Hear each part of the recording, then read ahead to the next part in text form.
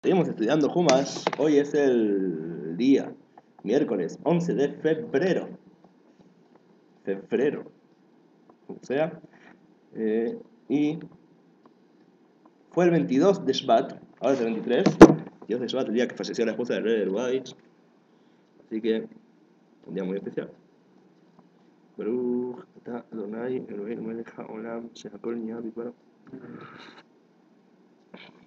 Bueno sigamos adelante. Eh, estábamos estudiando Toldot. Estábamos hablando de Jacob y de Estab. Y nos falta hablar algunas cosas sobre Jacob y Estab. Habíamos dicho que a Yitzhak le gustaba Esab, porque Esab vivía al máximo. Y Jacob, no, Jacob era más aburrido, más tranquilo, más lento, más denso, más eh, pancho. Pero la refinación de Esab, de las chispas de Esab, depende de Jacob. Eso es lo que vamos explicado en la última clase.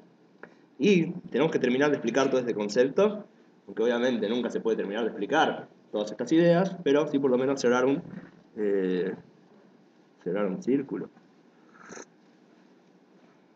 Cerrar un ciclo. Ok. Vamos a explicar un concepto acá.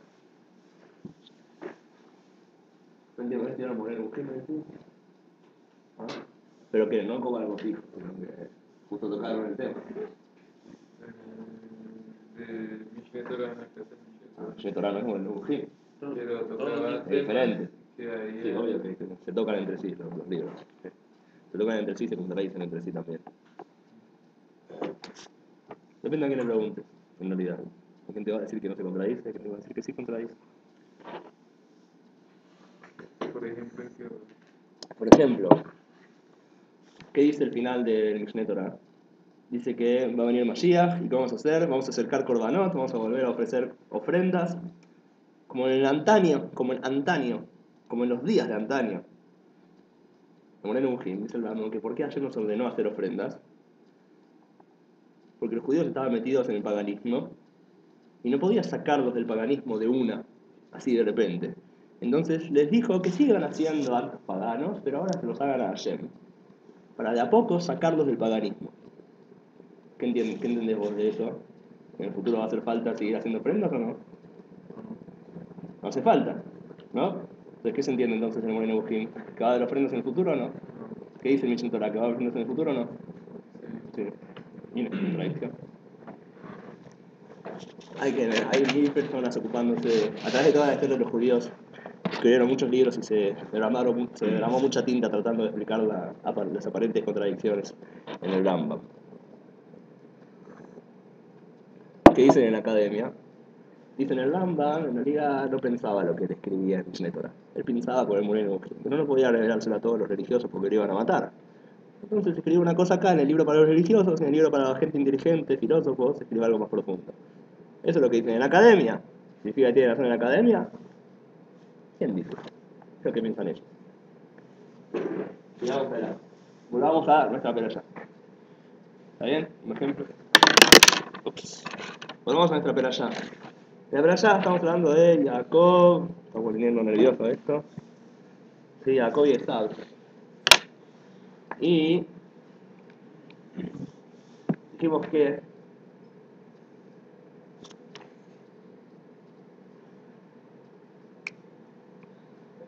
tenemos que decir lo siguiente, ¿sí? Cuando vamos a ver más adelante, vamos a ver más adelante que Yitzhak le da brajot a Jacob. Las brajot que les da Yitzhak a Jacob, pensando que es Esab, se las da con un nombre específico de Hashem. En general en la Torá, cuando Hashem da una brajá, ¿qué nombre de Hashem aparece cuando se dan brajot? Yud Kei Vav Kei, el nombre de cuatro letras. Representa Gesed, representa bondad, representa brajá. Pero solamente hay dos casos que encontramos que el nombre Elohim es el que da brajá. El primer caso es, conmigo por favor, a la página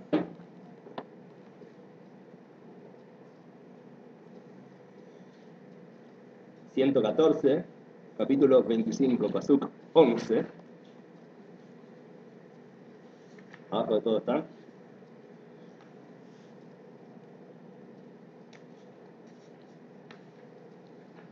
¿Sí? ¿Entraste ya? Vaihí Mot Abraham, y fue después de la muerte de Abraham, Vaibarech Elohim et Itzhak Beno.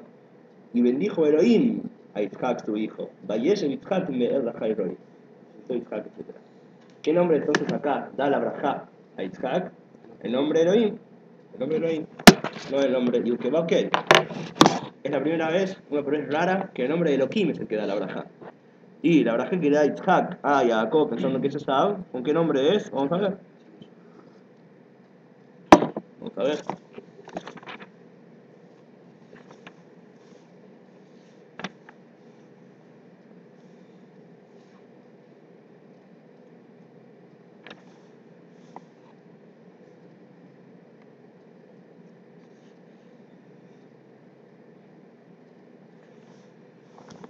Ay, Dios, está matando el aire acondicionado.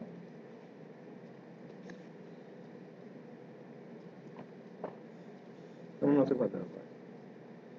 ¿Les molesta a ustedes? Ok, gracias.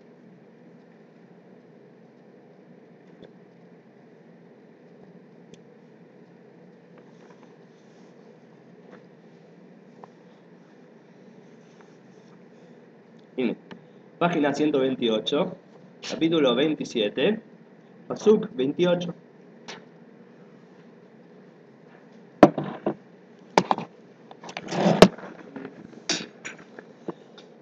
¿Están? Perek Pasuk Hafjet. El último Pasuk de la página, ¿ven? 128. Dice, Deiten leja a Elohim, mitala shamayim, mismaneja aret, bro dagan betirosh, que te dé a vos, a ti, Elohim, del rocío del cielo y de la gordura de la tierra, de lo grasoso, de lo aceitoso de la tierra. Otra vez la braja es dada por el nombre Elohim, Elohim. Qué comunidad.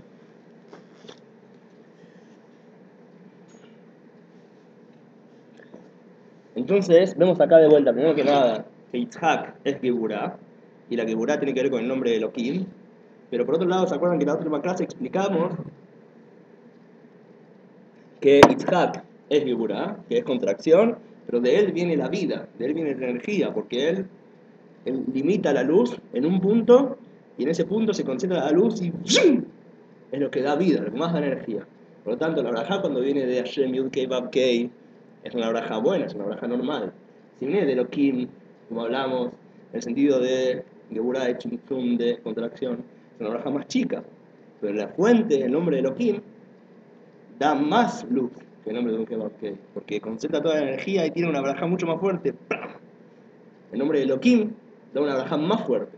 Por eso Yitzhak en toda la Torah es el que da las brajot más impresionantes de toda la Torah. Le da unas brajot increíbles, que tengas rocío, que tengas las cosas más gordas de la tierra, que tengas aceite, vino, eh, trigo, todo, todo, que tengas todo, que te sirvan los pueblos. Las brajot más grandes de todas vienen del nombre de Elohim, de la Geburah, porque de ahí viene la energía más potente. Ahora, sobre este tema está explicado que en general, ¿qué decimos? En general, ¿qué es más alto? El nombre Yud Keva el nombre de Elohim, Yud Keva es más alto, ¿cierto? Yud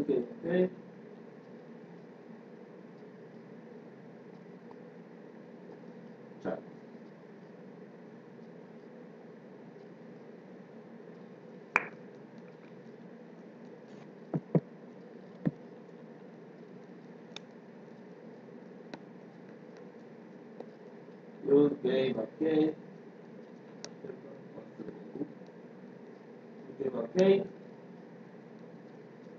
Es el nombre de Gesed, de bondad. Y cae, por favor, si hay algo que no entendés, decime. ¿Cómo sigue? Ok. Y abajo, Elohim. Elohim es el nombre más bajo, es el nombre de Tzimtzum, de ocultación, de contracción. El nombre que oculta la luz de Hashem. Yo sé que nadie comprende.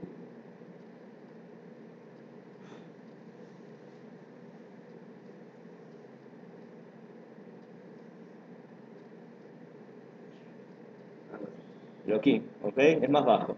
Pero, dice Hasidut, que hay un nombre de Elohim que es más alto en realidad que Yud que Kei. ¿Qué significa todo esto? Lo vamos a explicar. Y de ese nombre de Elohim que es más alto que Yud que Kei, da las Brajot Yitzhak. Por eso sus Brajot son los más potentes. ¿Acá que estás conmigo? Un Elohim más alto. ¿verdad?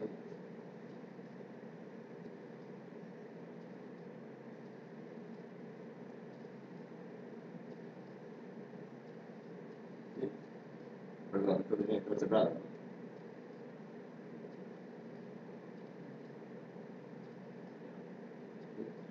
Ahora, ¿qué representa este Elohim que es más alto que un Kebab? Entonces vamos a explicar. En general, Yud Kebab representa el nombre de Hashem cuando se revela. Hashem se revela, profecía. Hay profecía, Hashem se revela en monte Sinaí, Se está revelando divinidad, la gente ve milagros. milagros de que, ¿Los milagros de qué nombre vienen? Del nombre de Yud Kebab Hashem se revela, rompe la naturaleza. Elohim en general, como ya sabemos, que dijimos 10 mil millones de veces esta gematria, Elohim tiene el mismo valor numérico que la palabra Hateva. Hateva, la naturaleza. ¿sí? El nombre Elohim representa la naturaleza. ¿Qué es, qué es la naturaleza? La palabra Teva es donde Hashem. O la palabra de Teva es la naturaleza. Y Hashem se oculta en la naturaleza. Sea, vos ves la naturaleza y ¿qué ves? Leyes. ¿No ves a un Dios que maneja las cosas? Ves que el mundo se maneja solo. No ves un Dios. Es un mundo. El mundo, la palabra Olam, significa, miren la misma palabra que la palabra Helem, que significa ocultación. La naturaleza, el mundo oculta a Dios. Pero la naturaleza misma nosotros sabemos que es también divinidad. También es en realidad una forma de Hashem de revelarse. Nada más que a primera vista, a primera vista no se ve que es Hashem, se ve que es naturaleza. Nosotros sabemos que es Hashem, porque Hashem se revela a nosotros y nos dijo, yo también soy el que crea naturaleza. Pero a primera vista el mundo oculta a Hashem. ¿Entienden lo que estoy diciendo? La palabra Teba, naturaleza, también tiene la raíz, la misma raíz que la palabra eh, Litboa. Litboa. ¿Qué es Litboa? Es Litboa.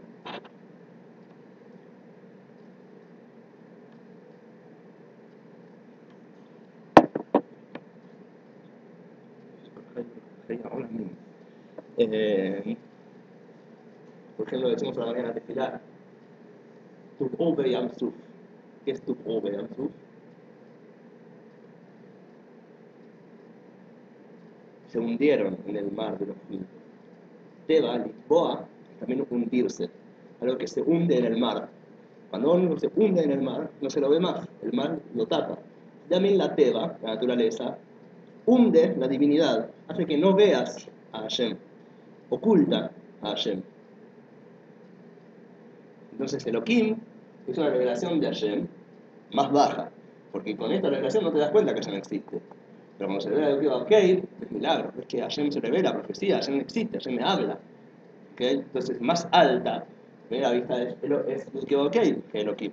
Es una revelación más alta de divinidad. La naturaleza es una revelación más baja de divinidad. No es que preguntes al Brahman, el Brahman no ve las cosas así. Pero, ahora, está un nombre, está Elohim como el que está por encima de ok. Y acá está insinuado en la Brajá de Beiten Leja Elohim de los amados Mishman Aretz, que era a Jacob, que le dice Beiten Leja Ha Elohim. Ha Elohim. El Elohim. En hebreo, cuando está la palabra Ha, la letra Ha, antes de la palabra, estamos hablando de que se llama Hei Hayediah. Hei Hayediah significa la Hei de lo famoso, la Hei de lo conocido. Cuando yo digo el Elohim, estoy refiriéndome a un Elohim que todos saben de quién hablo. O sea, es una figura más importante. Ha Elohim. El Elohim. No solamente Elohim, sino el Elohim. Más grande todavía. Entonces es Ha Elohim.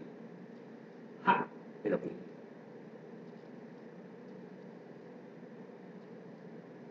¿Ven Hey? ¿Sí? Ha. ¿Qué representa este Elohim? Entonces Hasidut indicado que representa lo que se llama el Elem Ha'atzmi. ¿Qué significa? Escribirlo. Elem Ha'atzmi. Hashem como está oculto en esencia. ¿Qué significa? Yud Kei es Hashem mismo como se revela en el mundo. Hashem se revela profecía, milagros. Elohim es el nombre que oculta a Hashem. La naturaleza oculta a Hashem. Pero Hashem en esencia está oculto. No por la naturaleza, sino porque, porque Hashem es oculto, Hashem es incomprensible, es incaptable. Hashem es lo que es. No tiene definición. Entonces Hashem es oculto en esencia. No porque se oculte en la naturaleza. Hashem es lo que es, es incaptable, es incomprensible, es infinito. Es oculto en esencia. El Em, oculto en esencia. No oculto porque se oculta, sino oculto porque por definición Hashem es oculto. No es posible captar a Hashem. Entonces, ¿qué estoy diciendo? Que Hashem en verdad, en esencia, es lo que es. No puedo ni hablar de Hashem. No puedo decir ni A. No puedo decir ni no ni sí. Después conocemos a Hashem en la naturaleza. Ahí en la naturaleza Él se oculta, sin embargo. No lo vemos. Pero porque Él se oculta. Hace una acción de ocultarse. Lo que es cuando Hashem se revela a nosotros. ¿Y qué captamos? No captamos a Él mismo. Porque Él sigue siendo incaptable. Pero ¿qué captamos? Captamos no sé, su palabra, su revelación, lo que Él revela a nosotros. Pero seguimos sin saber qué o quién es Él. Sigue estando por encima de nuestra captación. Sigue estando oculto. Él está oculto en esencia. Es cuando yo hablo con vos, cuando yo hablo con ustedes, ¿sí? Ustedes me conocen a mí, ustedes conocen lo que yo les revelo a ustedes de mí. Yo puedo no hablarles y yo puedo hablarles. Cuando yo no les hablo, me oculto de ustedes. Cuando yo les hablo, me revelo a ustedes. Pero tanto si les hablo o no les hablo, igual ustedes no saben quién soy yo. Porque solo yo sé quién soy yo. Mi esencia nunca la van a conocer. ¿De vuelta? Así también Hashem. Hashem se oculta, no nos habla en la naturaleza. Hashem se revela y nos habla. Pero por más que Hashem se revela y nos habla, Él sigue siendo oculto. Él sigue siendo incomprensible. Ah, Elohim.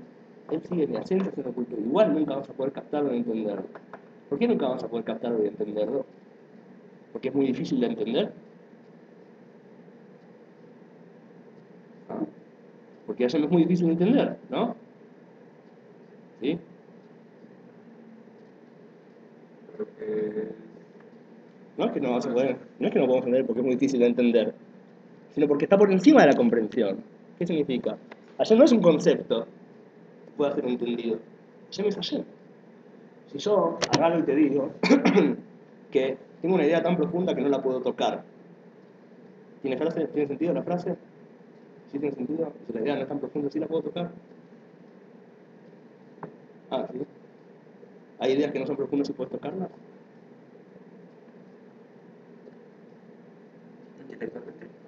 Con la mano. Una idea no se toca. No importa si es profunda o no es profunda, las ideas no se tocan. Son dos dimensiones, la del pensamiento y la del tacto. También, decir que yo no puedo entender a Hashem no es porque es muy profundo. Hashem no podías entender aunque no fuera profundo. Porque Hashem no es intelecto que pueda captarse con la mente. Así como no podés tocar una idea, tampoco podés entender a Hashem. Porque no tiene, la palabra entender a Hashem tiene tanto sentido como decir tocar una idea. No tiene sentido la frase. Hashem sigue siendo oculto, a pesar de que no se oculte. A pesar de que se revele, se revele se oculte, sigue siendo oculto. En esencia Hashem es oculto. Es lo que es, es incaptable. No a través de la mente, no a través del corazón, no a través del sentimiento, no a través del tacto. Hashem no se puede captar. Por eso él es Elohim en esencia. Por encima de lo que. ¿Se entendió la idea? Ok.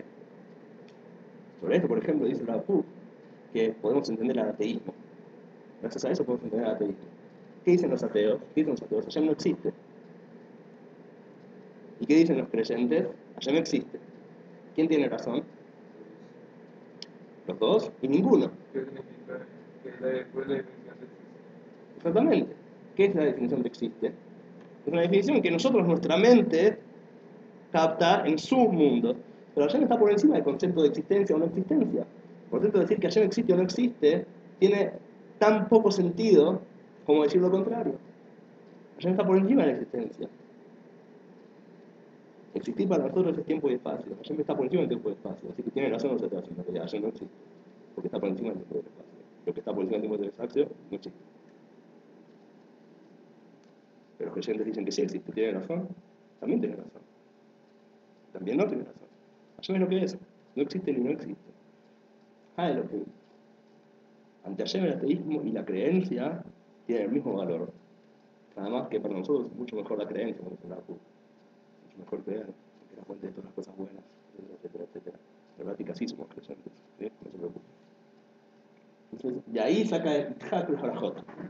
De acá, de Elohim, del nivel que está por encima de todo, todo, todo, es oculto en esencia, es incaptable en esencia. De ahí lo que Itzhak el Harajot. Ahora, estas, bra- esta, estas brajot tan increíbles que Itzhak viene a traer a este mundo, si se las revela Esad, es peligrosísimo. Si yo estas ideas se las digo a alguien que es ateo, es peligroso. Voy a terminar diciendo, no, entonces tengo razón, eh, voy a hacer lo que quiera. Por eso es peligroso dárselas a Esad estas brajot. Itzhak quiere dárselas, pero no se da cuenta que es peligroso dárselas a Esad directamente. Hay que dárselas primero a Jacob. Primero enseñarle esto, enseñarle esto religioso. El religioso va a poder seguir conectado con Hashem de una manera normal y también encontrar las chispas de divinidad dentro de incluso ideas como el ateísmo. Por eso primero la tiene que pasar a Jacob y Jacob va a elevar las chispas de esa. También, ahora podemos entender un concepto más. ¿Algo que explicar? Ah, vamos a cambiar de tema, ¿eh? Dentro del tema vamos a cambiar de. ¿Traes enseñanzas bien del Tania? Eh, no específicamente. Hasidut en general. Están esparcidas en diferentes magarín de Hasidut. Si querés que te diga específicamente dónde está lo que acabo de decir, te lo digo. Está en Sefer Mahamarim, Melukat, Torat Menachem, del último rey de Lubavitch, que él resume estas enseñanzas dentro del Torah Or, de Yavishin Samat Yadí, y de Mahamarim de Tafreis Mahbab, del Rebbe Rashad Kitor de Chabad. Él resume todas estas ideas en un Mahamar que se llama eh, Beitel Meja Elohim, que lo dijo en el año Tafshin Hafhet, en 1728, y lo imprimió corregido, creo que en el año Tafshin 1750, aunque esa última parte que acabo de decir no estoy seguro. Están, todas estas ideas están resumidas en un Mahamar, en un discurso clásico del rey último de Lubavitch, que lo dijo en 1728, pero es un resumen de diferentes discursos hasídicos de todos los diferentes sa- sabios del Hasidismo. Son ideas bastante complejas en realidad, el bebé las hace, las ordena de manera muy, ordenada y sistemática, fácil de entender, pero si lees en las fuentes es bastante más complicado entenderlo. ¿Alguna pregunta? ¿Quieres anotarlo? Eh, ahora, otra cosa más. El concepto este de que Jacob es el que puede refinar las chispas de Esad es un concepto general que dijimos que es que el mundo de Tikkun eleva eleva las chispas del mundo de Tou que explotó. Dijimos que las chispas del mundo de Tou eran mucho más elevadas. El mundo de Tikkun nosotros nos ordenamos y hacemos de vuelta en rompecabezas hasta que todo esté en orden, con mucha luz y también muchos recipientes. Un último concepto que quiero hablar de esto antes de seguir adelante es una, vez- una cosa que expliqué en una clase una vez, la nombré, pero no la expliqué totalmente y la quiero explicar ahora. Está explicado lo siguiente. Está explicado que en la Kedushá hay 10 sefirot.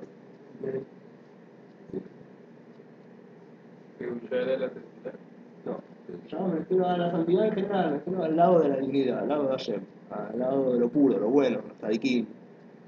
La Kedushá, cuando hablo de la Kedushá, como diciendo de las fuerzas del bien y las fuerzas del mal. El Kedushá y Flipá, las fuerzas del bien y las fuerzas del mal. Ok, me refiero al concepto metafísico. Creo que se dice así. ¿Por qué no sé? ¿Por qué se niegan a escribir los lápices? Los, los, los- inclina hacia abajo. La tinta Tiene que taparlo. Mientras tanto,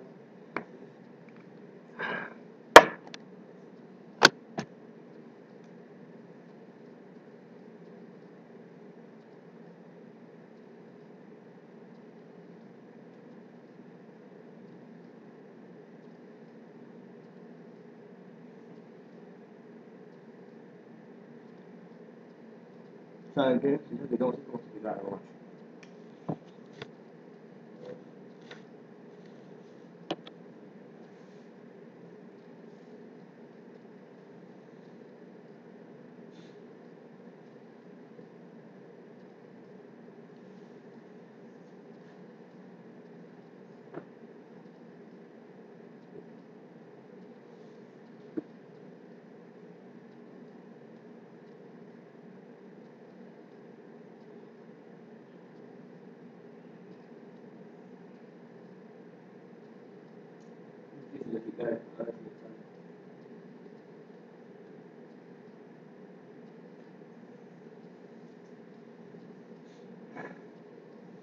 Esperá. General es explicado así. Explicado que. Sí, sí. De la figura de la Está. de la transmisión a través de todas las generaciones estaba lista cada día. Pero ¿quién es el primero que la trae? No sabría decirte exactamente el primero que la dibuja. Un dibujito. Eh, la pregunta es: ¿no se tiró? ¿Qué cosa sale? Eh, ok, del está lo que se llaman tres líneas. ¿sí? La línea derecha, la línea izquierda, la línea del medio. La línea de la derecha es llamada Jajam. La línea de la izquierda es llamada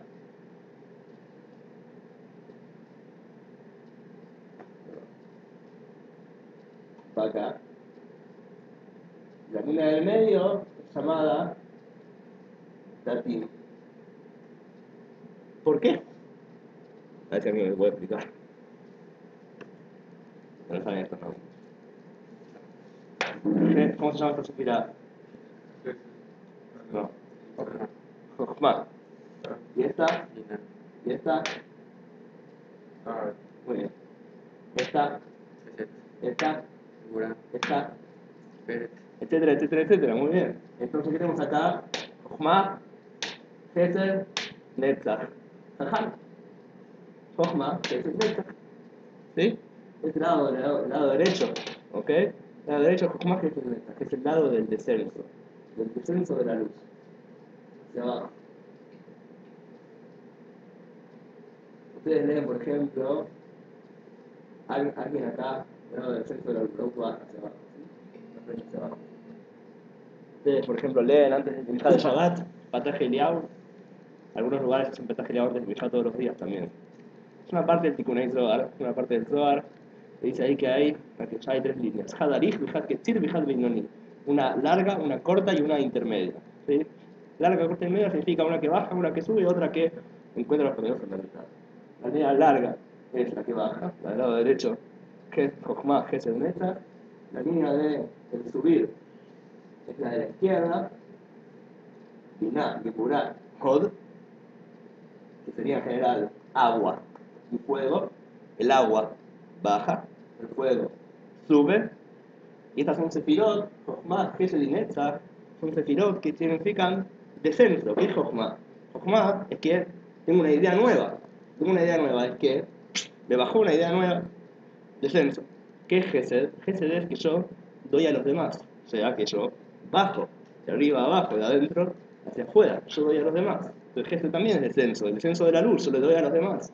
¿Y qué es Netzach? Netzach es la rama del Gesed en la práctica. Es que yo doy en la práctica. No el sentimiento, sino el dar. Ahora, acá, es al lado del fuego, que sube para arriba, que es Binah. Binah es la meditación, contemplación. Cuando yo estoy en Binah, estoy contemplando, meditando, me separo del mundo. No escucho a los demás. Me meto en mi propio mundo de mental y me cuelgo. O sea que estoy subiendo, me, me voy, me separo del mundo, me voy para arriba. Binah. Geburá, ¿qué es Geburá? Geburá es cerrarme, ocultación, contracción, meterme hacia adentro, de afuera hacia adentro. Es subir, separar. Que es Hod, es la práctica de la Binah, es la práctica. ¿Sí? Entonces también es ¿Qué es el plural? En la línea del medio, Datim, da, o sea, da, y Malhut, son siempre el lado que eh, hace el balance entre los movimientos. ¿sí? Gesed baja, Geburah sube, el lado del medio es el que hace el balance entre los dos. ¿Qué hace el balance entre los dos? Por eso es el, el lado de- del medio. Sí, sí. que ¿Qué te no nombré? Ahora voy a nombrarlo. ¿Sí? Ahora voy a explicar por qué lo nombré. Sí, sí. ¿Qué tiene significado las, las letras? ¿Qué significa? O sea, la palabra y la No, palabra. es un acrónimo nada más. No sé te voto. Simplemente no sé. No sé te voto. Jochma, que es honesta, mirá, mirá, hot, la diferente forma. No sé te voto. Ok. Eh, es muy importante entender que en el lado de la Kedushá, la parte principal es el lado del medio. O sea, la Kedushá tiene el lado del bien, las fuerzas del bien tienen especial que tienen el centro. El centro es lo principal de la Kedushá. El balance es la Kedushá. El extremo es clipar. Siempre el extremo es clipar. Como hablamos también ahora de lo mismo, ¿cierto? Que los extremos no son buenos. Los extremos nunca son buenos. Los extremos son clipar. Una persona es puro gesed, no tiene que curar, es malo. Puro que curar, no tiene gesed, es malo. ¿Sí? Hay que tener balance, hay que ser balanceado. Eso es Kedushá. Ahora, eh, ¿qué tiene especial el centro? El centro es especial porque gracias a que hay una luz superior a los dos lados, puede haber un centro. ¿Qué significa? Solamente una persona que está bien adentro suyo puede lograr balancearse. O sea que el hecho de que haya un balance es porque yo estoy bien. Si no hay Kedushá, entonces no puedo lograr un balance. El centro, entonces, no es simplemente la unión de opuestos, sino que es que hay una luz superior desde Keter que ilumina en el centro, y gracias a que la luz de Keter, que representa como si fuera a Hashem mismo, o sea, luz infinita, sin ninguna definición, puedo lograr balance. Si no hay luz de Keter, si no hay luz de Hashem mismo, no puede haber balance. O sea, el hecho de que Hashem mismo ilumine provoca que haya balance. Para dar un ejemplo, hay muchos ministros en el gobierno y todos se la pasan peleándose. Pero al final trabajan juntos, ¿por qué? Porque hay un primer ministro. Ahora, si el primer ministro se va, terminan matándose entre todos. Y significa que gracias a que hay un primer ministro, que sería el Keter, gracias a que hay un rey, provoca balance entre los opuestos. Entonces, es el Keter que ilumina, el que provoca que haya balance entre cosas opuestas. El hecho de que Hashem esté revelado hace que pueda haber balance.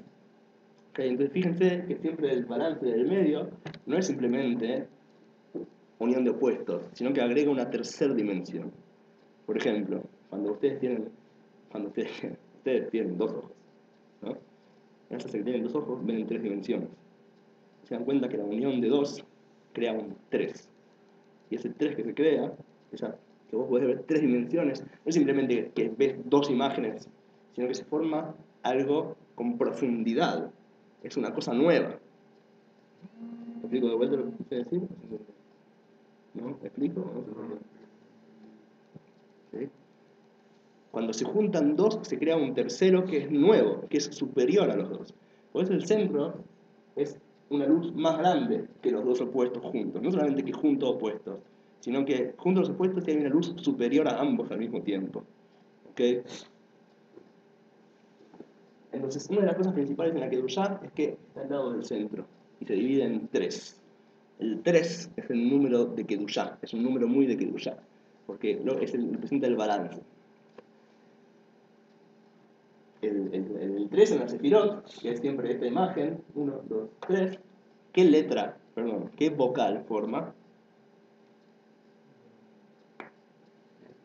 ¿Cómo? Segor, muy bien, Segor, ¿eh? Así, Segor. ¿Ok? La Segol es la unión de los opuestos en un centro. Y eso es el pueblo de Israel. ¿Cómo se llama el pueblo de Israel? Am. Ah, Israel. Am. Segol. Am Segulá. Am Segulá. El pueblo de Segulá. ¿Qué significa Segulá? Son el pueblo del Segol, el pueblo que logra unir opuestos con la luz de Hashem y hacer balance entre el Islam, el cristianismo, lo que sea. El balance, el centro del medio. Esa es la que esa es Israel. En la clipa no hay centro del medio. Por lo tanto, en general, las esferas son dibujadas una abajo de la otra, o a veces son dibujadas una al lado de la otra. Una al lado de la otra, así como si fueran dos eh, paralelas. Una al lado de la otra. Esa es la diferencia entre Tobu y Tikkun. Tikkun hay tres, en Tobu hay solo dos. Ahora, dijimos que Jacob y Esab representan Tobu y Tikkun, entonces ahora podemos entender, por ejemplo, más adelante, cuando Jacob se encuentra con Esab y Esab va a atacar para matar a Jacob, más adelante, bastante para más adelante, ¿cómo hace Jacob para luchar con Esab? ¿Cómo se prepara? ¿Qué hace él? ¿Qué prepara?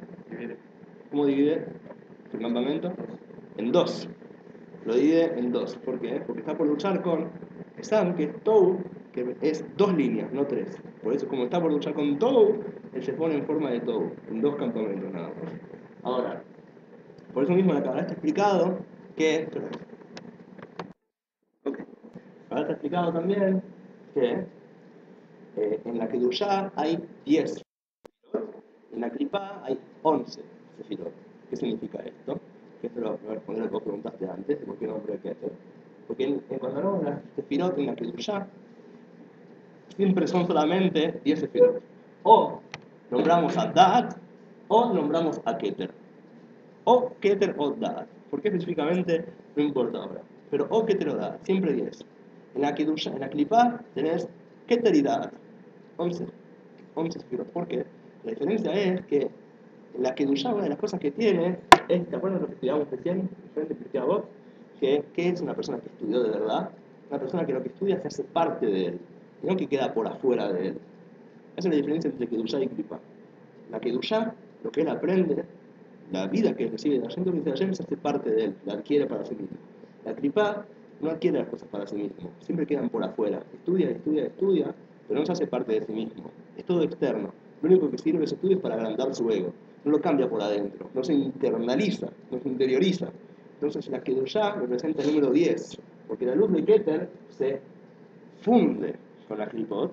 También la- la- las cosas que Hashem me da, lo que yo estudio, lo hago parte de mí y cambio por adentro.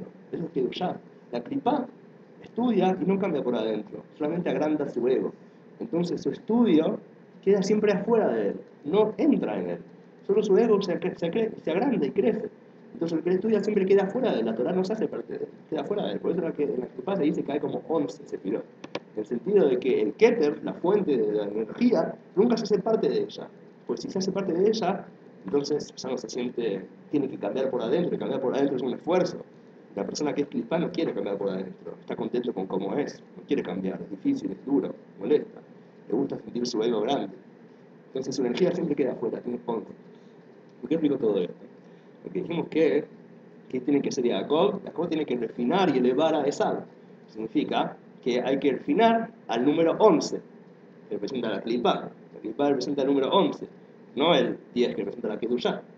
Ahora, vamos a ver dónde encontramos en la Torá alguna cosa que tenga el número 11. ¿Alguien se le ocurre? Le voy a dar una pista, le voy a dar el Mishkan. Hay una cosa que tiene el número 11.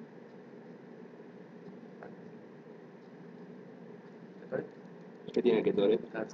¿Cuántas hierbas? ¿Cuántos diferentes ingredientes? ¿Cómo? El Ketoret tiene 11 ingredientes principales. 11 ingredientes principales.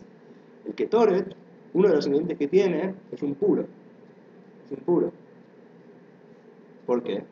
Porque el Ketoret representa un nivel de Kedushá tan grande, tan fuerte, que puede refinar a las clipot. Por eso tiene el número 11. Así como Jacob, para refinar a Esab, se inviste en las vestimentas de Esab y se pone en dos campamentos como el mundo de todo, como clipot, para entrar en su mundo y luchar desde adentro. También el Ketoret es lo que refina la clipá. Por eso también tiene el número 11. Y tiene un- un- uno de los ingredientes que son impuros. El Ketoret es lo que puede refinar la clipá. ¿Qué significa que el Ketoret refina la clipá? Para entender esto, hay que entender la diferencia general entre Korbanot y Ketoret. Los Korbanot y el Ketoret, explicamos en Hasidut, es la diferencia entre la parte externa del corazón y la parte interna del corazón. Hay que trabajar el corazón de uno y ser una mejor persona, pero trabajar el interior del corazón de uno, cambiar la esencia de uno es muy difícil. Solamente grandes Kim logran cambiar su esencia. Entonces la mayoría de la gente, su trabajo es como Korbanot. Cambiar su alma animal, trabajar su alma animal, ofrendar su alma animal, elevarla a Hashem. Esos son los Korbanot, ofrendar animales. Que Toret no pueden elevar todos, solamente el Kohen Gadol, solamente Kohanim, solamente gente especial, solamente los Tzadikim hacen el servicio del Ketoret. Significa trabajar el interior de su corazón y cambiar desde la- el subconsciente de su ser. Cambiar la clipa que hay en el centro de su ser. Es muy difícil, no todos pueden trabajar el trabajo del Ketoret. Pero sobre gente muy especial se dice que su trabajo era como el Ketoret, como Rabbi Shimon Bar por ejemplo. Rabbi Shimon Bar Yochai en el Zohar, antes de fallecer, dice, dejad que tira y katarna. Yo me conecto con Hashem con una conexión, que tira, que tira es Kesher. que es de la palabra ketoret. Ketoret es kesher, es una unión. Los korbanot, que es de, que- ¿de dónde viene la palabra korban? Kirub, cercanía. Uno se acerca a Hashem. Con el ketoret uno no se acerca a Hashem. Uno se conecta con Hashem, uno hace un kesher, se anuda con Hashem. Solamente está aquí muy grandes hacen el ketoret. Verán conectarse con Hashem en esencia, en las partes más profundas de su ser. Mucho más difícil. Por eso, el ketoret es el que tiene el número 11, para definir la tripá que representa el número 11. Una pregunta, terminé. Fueron muchísimos conceptos hoy. Bueno.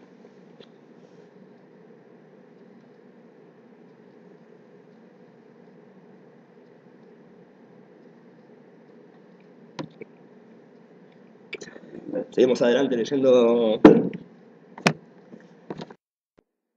Eh, ¿Bereshit? Pasuk, perdón. Perk Haf Hei. Perk 25, Pasuk. Hafhet. Pasuk Koach. Pasuk 28.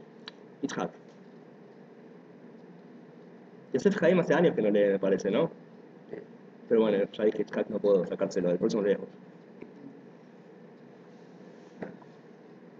Valle- Vayahab, Yitzhak, et eh, Shab, Esav, y Sa- Sayid, Be- Befi, eh, Rivka, o Reuben, et Jacob. Bien. Vayayab Yitzhak et Esav. Y quería Yitzhak a Esav. Amaba Yitzhak a Esav. Kitzaid. Porque él cazaba con su boca. Ya explicamos en las otras clases lo que significaba eso. La pregunta que hacía Esav a Yitzhak. Berivka o Hebet et Jacob. Y Rivka quería a Jacob. Eh, tiene la grematria, dijimos en una clase que Esav representa el cristianismo, como nosotros lo vemos, eh, y la gematria de la palabra Esav es la misma gematria, de la- o sea, el valor numérico es la misma gematria de la palabra Shalom, paz. El cristianismo tiene una cualidad que- que- ¿Qué es eso? Ok. ¿Qué es el signo Illuminati? Ok. Eh, Tiene la misma gematria que Shalom. ¿Cómo? Tiene la misma gematria que Shalom. Sí. Ah, esta. Esa tiene la misma gematria que la palabra shalom. Encontramos que en realidad el cristianismo tiene, lo que, tiene esa cualidad de decidir dónde hay paz. ¿Escucharon alguna vez el concepto de la, escucharon alguna vez el concepto de la pax romana? La pax romana es un concepto que Roma era el que decidía dónde hay paz y dónde no hay paz. ¿Dónde conviene que haya guerra ahora? ¿Dónde conviene que haya ahora paz? Que ahora haya paz. Es un concepto que Roma decide Ahora, acá paz, acá guerra, acá paz, acá guerra. Ellos deciden dónde tiene que haber paz, dónde no. También hoy en día, ¿sí? después de Roma agarró al cristianismo y también, por ejemplo, Estados Unidos. Fíjense en alguna guerra en el mundo donde no está Estados Unidos metido.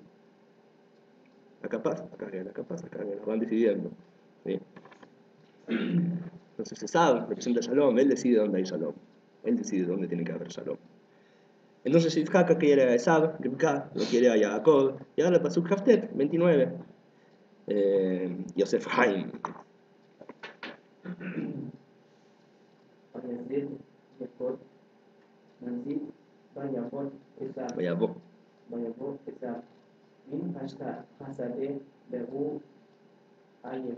Muy bien. Y se pasó con dinero así. Vaya a hacer Jacob Nasir. Y hizo Jacob un guiso. Salió un verso sin esfuerzo. Vaya vos, Esab, de Y vino Esab del campo. Uh, ayer. Y él estaba cansado. ¿De qué era el guiso? ¿Cómo sabes? No siempre hay que echarle la culpa al Midrash. ¿Cómo? Te voy a dar una recomendación. Tradición. Ok, tradición. Eh, si leemos el Pasuk Lamed Dalet, Pasuk 34, dice así: Jacob Natan le Esab lejemunes y dadashim. Jacob le dio a Esab pan y un guiso de lentejas. Así que la respuesta está en los Psukim, está escrito en la Torah. Para variar. Hay cosas que sí están escritas en la Torah.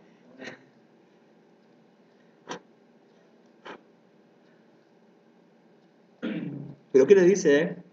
Eh, fíjate en el Pasuk Lame, el próximo Pasuk. A ver, vamos a ver, diablo, el Pasuk vos. Pasuk 30.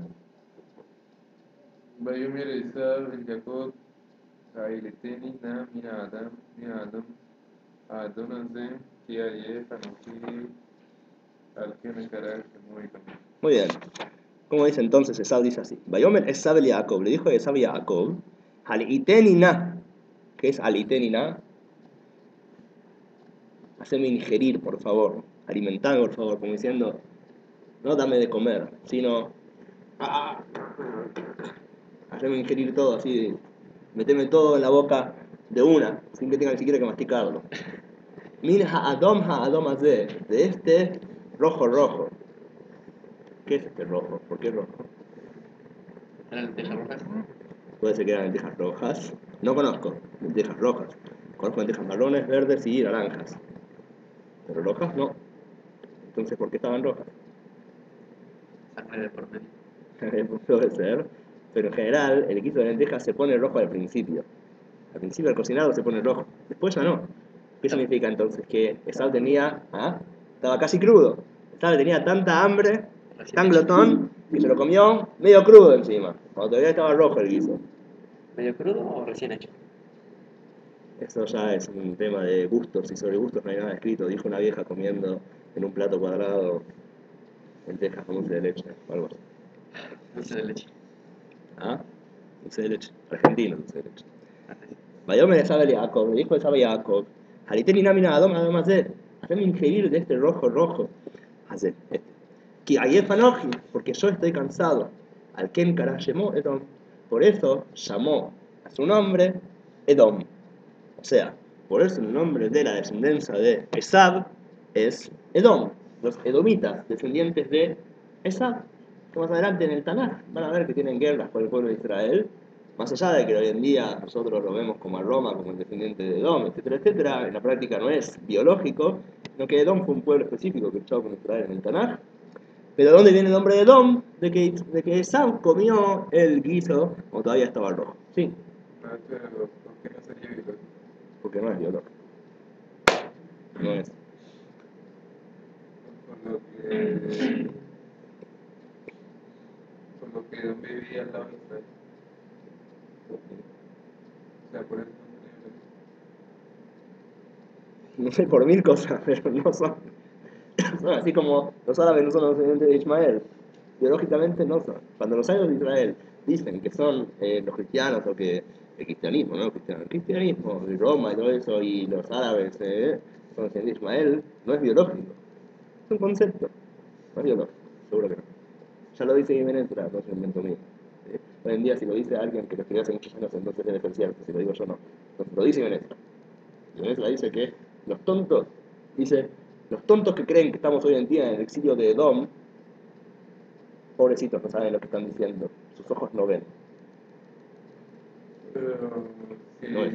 si ya finalizó el siglo de Edom, Espiritualmente es Edom, espiritualmente es Ismael, pero no biológicamente. ¿Querés decir algo más? ¿Cómo, cómo espiritualmente podrían heredar? Espiritualmente, los pueblos los pueblos de Israel ven a la Torah como la fuente del mundo. Por lo tanto, es el mapa de la creación. Entonces, todos los, la- los personajes en la Torah son arquetipos de pueblos, son arquetipos de partes del alma, son arquetipos de la historia. Entonces, los vamos reflejando, los sabios de Israel, los cabalistas en especial, los reflejan dentro de diferentes cosas, acontecimientos que pasan en la historia del mundo. No tenemos ningún enemigo biológico. Enemigo biológico, ¿qué significa no tenemos un enemigo biológico? No- Es más, no solamente eso, antes todavía Nebuchadnezzar, ya el Rambam mismo dice que Nebuchadnezzar mezcla, mezcla a todos los pueblos. Hoy en día ya no... Los pueblos no son todos los, los que están en la Torá, son, son otra cosa. Amalek ya no existe hoy en día. Como, como biológicamente. Nebuchadnezzar mezcló todas las cosas, cambió, ya no es lo mismo, no, no funciona de la misma manera. ¿No son eso? revolvió. ¿Qué me decías? Que no tenemos enemigos biológicos. ¿Qué significa no tenemos enemigos? No entiendo. Que le echamos la culpa a... Tenemos enemigos porque, no quiero- porque hay gente que no quiere matar. Ese es nuestro problema nada más.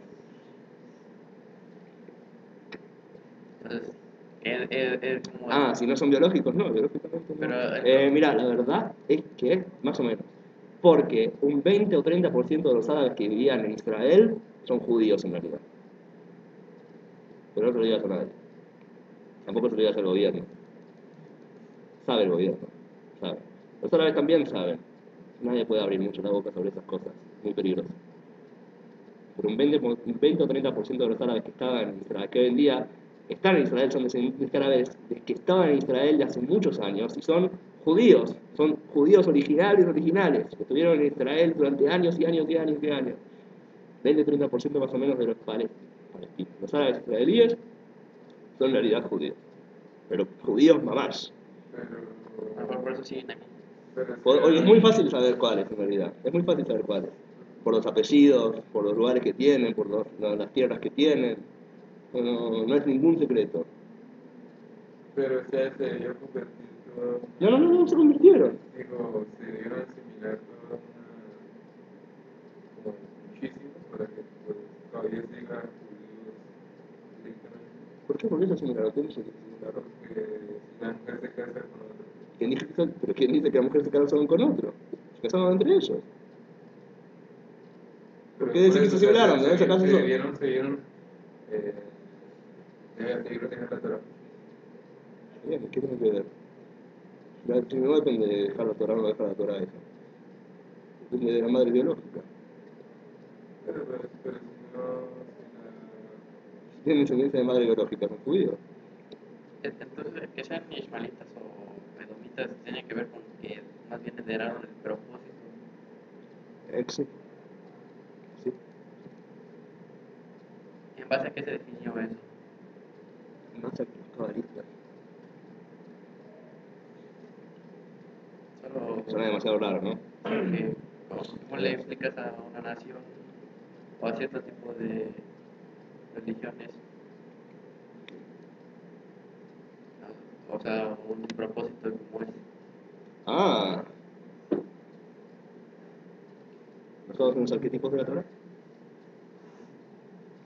¿Qué me estás diciendo? No tenés evidencia, me estás diciendo. Sí, no tenemos evidencia. Creemos en los sabios, ¿qué querés? Todavía, todavía sorprende. "Ah, es extraño, pensé que Somos muy extraños. Pero, o sea, decir que, que ellos mismos se, pueden sentir, se sienten otra cosa y resulta que nosotros los calificamos con otra cosa Tenemos que hacer paz, tenemos que hacer teshuvá, entonces. Pero, ah, eh, bueno, Entonces no lo calificamos más. pero ¿por qué no? ¿Por qué, por qué eh, implicar una descendencia de un personaje que ya terminó? Nosotros vemos que la Torah habla de pueblos y los consideramos como ideas. ¿sí? Y hay pueblos que llevan esa idea. La idea se va pasando. O sea, en es así también. Por ejemplo, la filosofía. Empezó en Grecia. ¿sí? ¿Quién ha seguido después? Los árabes. Los árabes fueron los filósofos más grandes después. Y después, ¿quiénes, y después ¿quiénes fueron filósofos? Los cristianos. ¿De qué dependió? De que en una época el cristianismo estaba en un estado de oscuridad total porque la religión los dejó a todos como tarados. Entonces nadie era filósofo, y los árabes eran filósofos, pero eran gente muy inteligente. Después la religión de los árabes se los dejó a todos tarados y la filosofía pasó a los cristianos. ¿Pero dónde empieza la filosofía? De Grecia. En otras palabras, el espíritu de Grecia pasa de pueblo a pueblo, van pasando. Son, son, las ideas van pasando de lugar en lugar. Hay más cosas así. Bueno.